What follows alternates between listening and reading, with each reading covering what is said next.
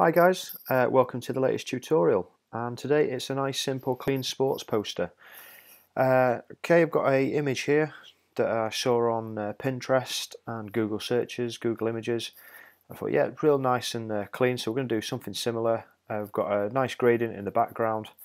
Okay, we've got a bit of a shadow, a bit of a reflection and down the bottom we've just got a, uh, a logo. And there's a little bit of dodging and burning as well, not a great deal but again just uh, just enough to add some effect. So without further ado get straight into it. So I'm using a Mac. I'm going to press command N for a new document. A little bit slow and I am using 1280 by 720 and it is a portrait orientation. Uh, white background RGB color 8-bit resolution 144 pixels per inch and click create and command 0 bring that up to full speed.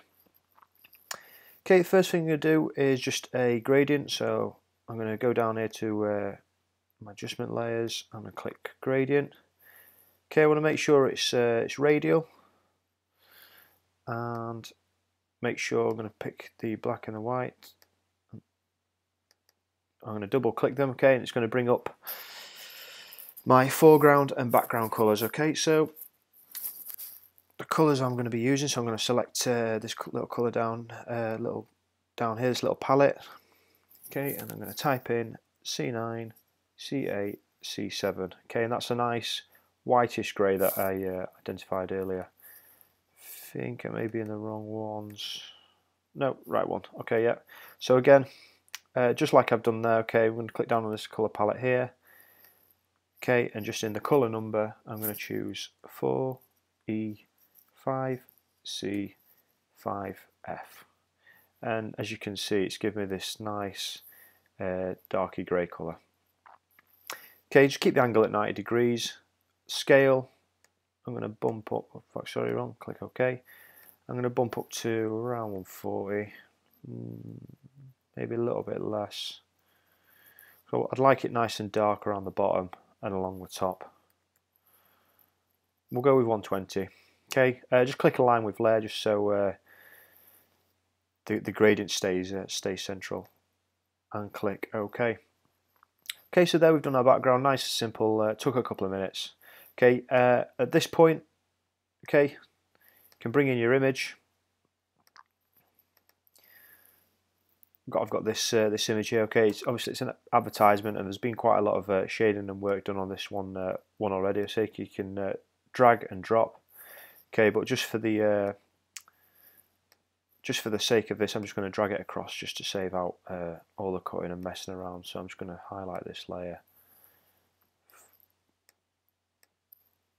I'm just going to drag him into here. Okay, so again, choose your image, put him in, and cut him out.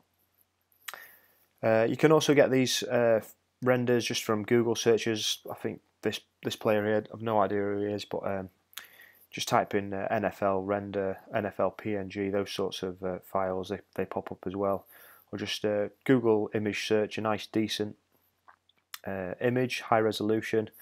Okay, drag it in and uh, cut them out. So I'm going to press Command T to bring up uh, the boxes.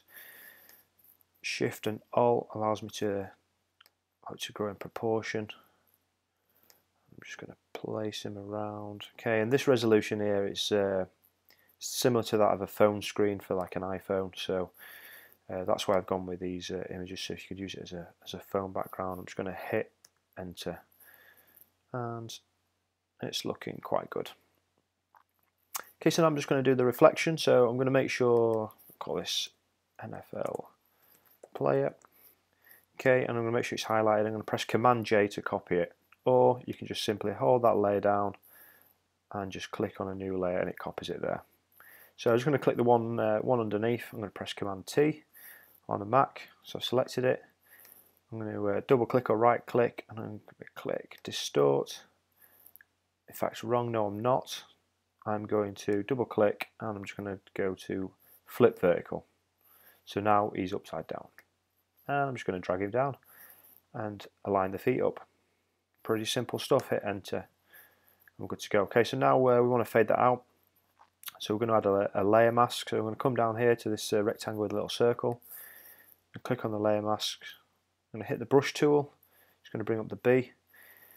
Okay, and I've got a nice soft brush, okay. Uh, I've got this brush here, and then what you can do is you can just drag it down to a bit of a, an oblique.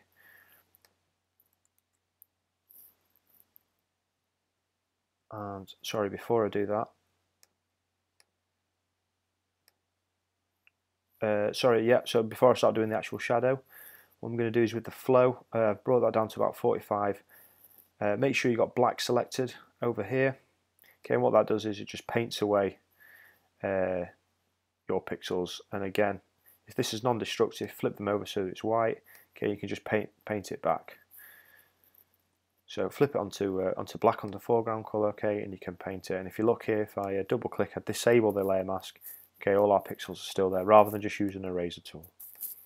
Okay, uh, if you're familiar with Photoshop, you should uh, you should know that anyway. Okay, so I'm just going to get a nice reflection. You can hold Shift down. What that'll do is uh, keep it nice and linear. Okay, if you do a little bit too much like I have there, hit X uh, as a shortcut and it flip it to white. Okay, and I'm just going to paint a little bit more, make it a bit smaller, and just play around with it. Yeah, that's faded. That looks uh, that looks good. Okay, so hit V, hit move tool. Uh, yeah, brilliant. So we've got our player, got our reflection. Happy days. Okay, so what we need to do in between, we need to uh, add that shadow. So go back to original original one. Okay, I'm just going to add that shadow there. So make sure the bottom uh, layer is highlighted. So again, there we can see it's disappeared. I'm going to click New Layer. Name this Shadow. Okay, I'm going to hit B for brush. like I showed before, okay, going to get a nice soft brush and just the shape I'm just going to adjust so that looks uh, looks about good okay I'm just going to make it a little bit bigger um, stick with 45 I'm just going to try and get it underneath and in one go I'm pretty happy with that again you uh, you can move around and play with it uh, however much however much you like Okay, so I spoke about uh, dodge and burn, dodging and burning. Uh, however you like to you uh, say it. Okay, it's a handy little technique. So if you're familiar with my tutorials, okay, I do a lot of uh, shading with the brush, different layers, and I make um, clipping masks. Okay, and I do the, do the highlights. But in uh, in this example, I'm going to do a different technique. So I'm going to create a new layer. I'm going to clip this one. So I'm going to hold down Alt and hover in between the lines, and this symbol appears. Okay, and I'm just going to click X. And again, everything uh, on this layer is now directly affected with, with the layer below. So for example, if I bring up a brush, okay, and I bring the flow up to 100%, black brush, you can see I'm painting but nothing's happening. But if I drag across, you can see how it paints on that layer. Um, so yeah, so there we go. So what I'm going to do is uh, uh, with this layer then, okay, I'm going to go over to my uh, colour palette, I'm going to type in 80 80, 80. And it brings up uh, this uh, silver grey colour. It's pretty much bang in the middle. And click OK. Okay, as it's the foreground layer, I'm going to hold Alt on the Mac and press backspace and it's going to fill it. Uh, I'm not sure of the shortcuts for the window, so I apologise. Uh, just play around or just give it a quick Google. And I'm going to change the blend mode to overlay. Okay, so they can't really see uh, see much of a difference. Okay, make sure it's still highlighted. Okay, I'm going to go to my and Burn tools. The first one I'm going to use is the Burn tool. Okay, and we'll make sure the midtones are selected just there at the top. Okay, and the exposure you want it around 10%.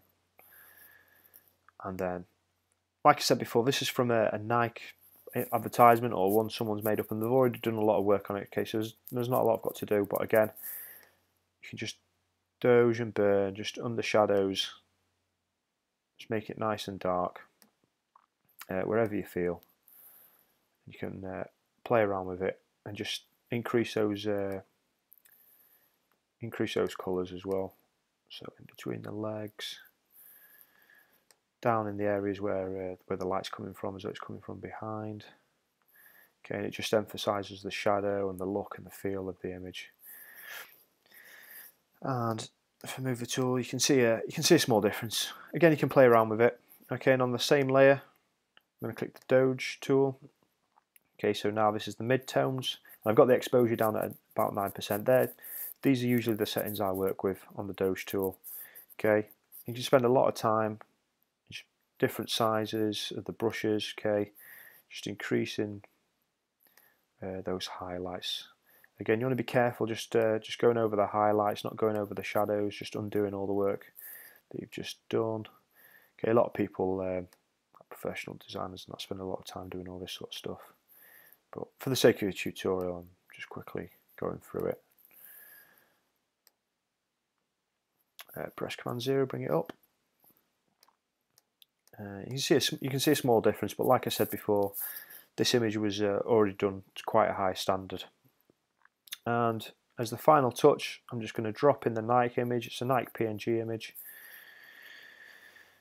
Uh, hard drive's pretty slow at the minute. It's nice and small. I'm going to drag it down. I'm going to hit enter. Command zero. There we go. There's our uh, nice Klimput, nice, simple and clean sports poster. Pretty straightforward. Probably less than 10 minutes there. Again, play around, uh, different players, different colours, okay, with different teams, all right. Feel free to play around with the gradients and stuff. And I hope you enjoyed this nice, quick tutorial. Uh, if you liked it, hit like, leave a comment below, share and subscribe. I really appreciate uh, help my channel grow. Thank you very much, and I hope you enjoyed today's tutorial.